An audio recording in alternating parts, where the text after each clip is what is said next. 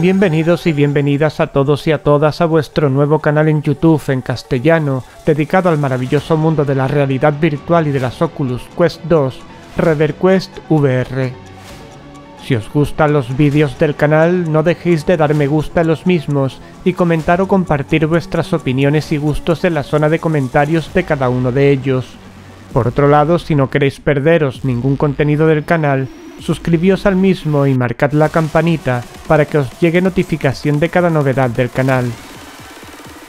En este nuevo contenido de ReverQuest VR os quiero hablar brevemente de los diferentes dispositivos electrónicos que nos abren las puertas a la realidad virtual.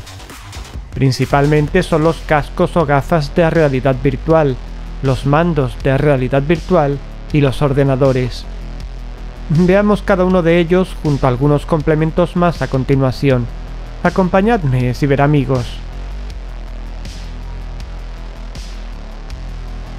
En primer lugar vamos a ver lo que son los cascos o gafas de realidad virtual.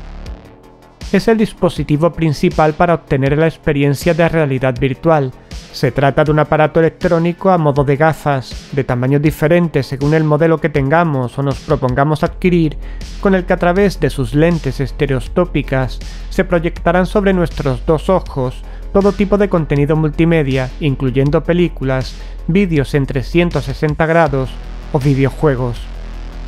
Estas lentes, una vez tenemos el casco puesto, están literalmente frente a nuestros ojos dándonos esa sensación nueva de la inmersión completa en entornos creados por ordenador o en vídeos creados para el uso de esta tecnología. Estas lentes, una vez tenemos el casco puesto, están literalmente frente a nuestros ojos, dándonos esa sensación nueva de la inmersión completa en entornos creados por ordenador o en vídeos creados para el uso de esta tecnología pero el casco o las gafas de realidad virtual no solo nos proporcionarán la visión objetiva del entorno, sino que también podremos mirar a nuestro alrededor como si se tratase de la propia realidad, moviendo nuestra cabeza y nuestro cuerpo. El tracking o monitoreo de nuestra posición en la realidad virtual se suele realizar con varias técnicas, dos fundamentalmente, con satélites instalados a nuestro alrededor o mediante cámaras integradas en el propio casco virtual, que es el caso de las Oculus Quest 2. También puede darse una mezcla de ambas. El caso del tracking mediante satélites es el que se ha utilizado hasta el momento en la mayoría de cascos virtuales que se utilizan tanto en ordenadores como en consolas, tales como PSVR de la PlayStation 4 o Inditex o HTC Vive en ordenadores.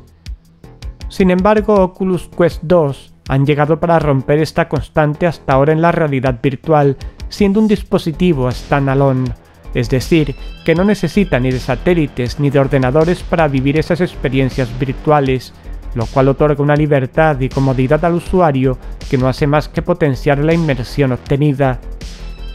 Las Oculus Quest 2 son el gran ejemplo de monitoreo mediante cámaras en el propio casco virtual. Por último, destacar también que los cascos o gafas virtuales integran un sistema de sonido posicional 3D para aumentar la inmersión en los entornos. De este modo, si un zombie nos va a atacar por la espalda, lo oiremos a nuestra espalda, y si nos movemos, el sonido se moverá en nuestros oídos tal como en la realidad. Por último, aclarar que dentro de los cascos virtuales podríamos distinguir tres grandes clases, los clásicos típicos de los ordenadores o consolas, es decir, PSVR, HTC Vive, Inditex y otros, los standalone como las Oculus Quest 2 y finalmente los derivados de móviles, es decir, conectar una carcasa a modo de casco virtual a nuestro móvil cumpliendo ciertos requisitos. Hay que decir que dentro de la tipología de cascos virtuales, la derivada de móviles es la menos recomendable en todos los sentidos, si bien hace unos años podía suponer un primer acercamiento a la realidad virtual.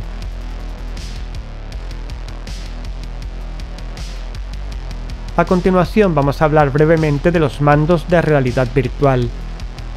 Estos mandos, de un aspecto generalmente futurista, con un aro repleto de sensores de movimiento, se traducen en el entorno virtual en manos virtuales, con las que podremos manipular, golpear, disparar y mil cosas más en los entornos virtuales. Con el mando virtual podremos no solo movernos por el entorno virtual, ya veremos cómo, sino también como he remarcado interactuar en diversos sentidos con él. Generalmente cada casco virtual suele traer sus mandos virtuales, es decir, al comprarlo vendrá todo junto. Estos mandos virtuales, igualmente con los sensores que mencionaba anteriormente colocados en el aro, son monitoreados como el casco virtual, de ahí que si movemos el mando en la realidad, moveremos las manos en el entorno virtual. Todavía no existe un tracking global de la mano y los dedos, pero se avanza marchas forzadas en lograrlo para conseguir una mayor inversión y sobre todo que los mismos sean asequibles a todos los bolsillos. Hoy día existen ya prototipos en este sentido, aunque aún son muy caros, pero paciencia que todo llegará con el tiempo.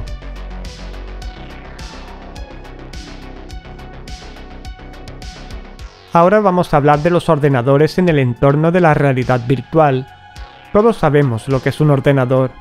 Lo que ocurre es que hasta octubre de 2020, para disfrutar de la realidad virtual, o bien se necesitaba una consola PlayStation 4, caso de las PSVR, o bien un ordenador para PCVR, es decir, realidad virtual para ordenadores.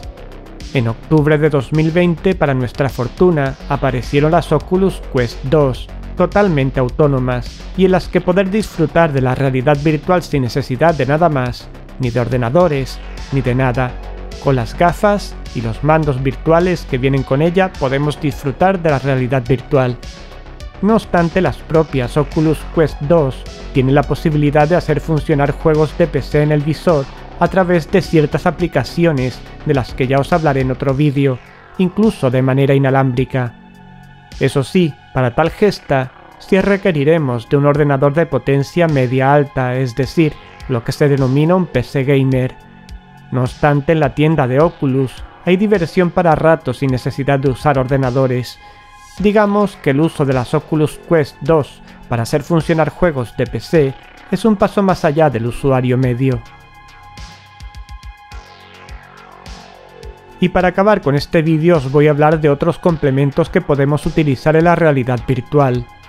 No vamos a negar que el mundo de la realidad virtual hasta octubre de 2020 era una experiencia reservada a bolsillos de alta capacidad adquisitiva. Con la entrada en juego de Oculus Quest 2 y unas posibles Oculus Quest 3 ya en preparación, el juego ha cambiado radicalmente, abriéndose esta tecnología al gran público que de momento está respondiendo fenomenalmente, lo que animará a la industria a crear más juegos y experiencias virtuales de calidad. Sin embargo, sigue habiendo ciertos complementos que mejorarían más si cabe la inmersión en entornos virtuales, cuyos precios son hoy día prohibitivos para el gran público.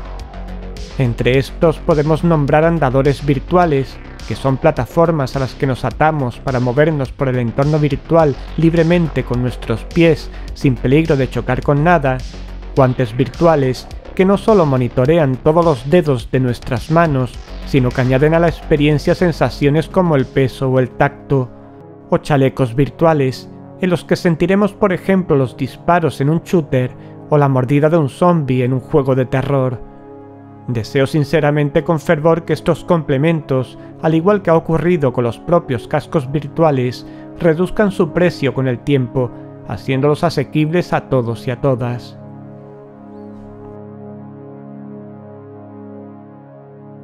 Y esto es todo por hoy. Espero que con esta breve explicación os haya quedado claro a todos y a todas los elementos principales que entran en juego en una experiencia de realidad virtual. El futuro es muy prometedor y excitante para esta tecnología y sin duda y se lo agradezco encarecidamente, Facebook con sus Oculus Quest 2 han dado un paso decisivo en la democratización de la realidad virtual no dejéis de compartir, dar me gusta y comentar este contenido si os ha parecido interesante. Suscribíos y activad la campanita si no queréis perderos próximos contenidos del canal. Esto último que os pido es de vital importancia para el crecimiento del canal y que muchas personas puedan unírsenos y disfrutar de sus contenidos. Gracias de antemano. Saludos a todos y a todas, y nos vemos muy pronto en tu canal favorito de realidad virtual, ReverQuest VR. Hasta pronto.